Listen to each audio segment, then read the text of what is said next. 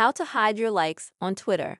If you want to hide your Twitter likes, then you have come to the right place because I will show you how to hide your likes on Twitter.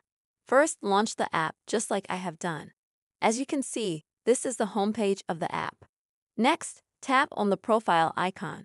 It is this icon that appears at the top right corner of the screen.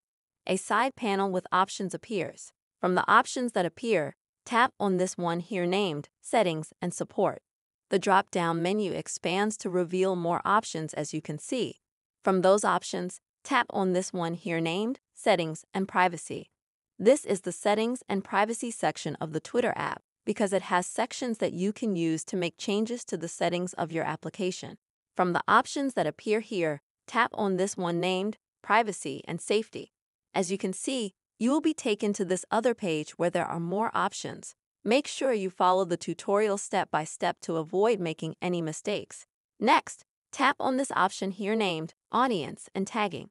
You will see this page that has two options with toggled buttons. From the one we need is this one here named Protect Your Posts.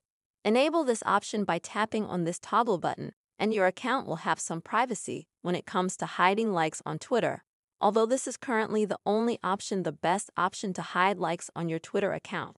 That is how to hide your likes on Twitter.